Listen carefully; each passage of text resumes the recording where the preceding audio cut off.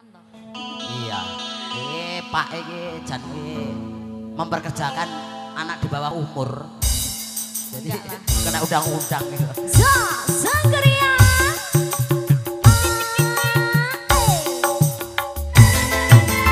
Ibu-ibu silakan goyang. Ibu Narti barangkali mau joget.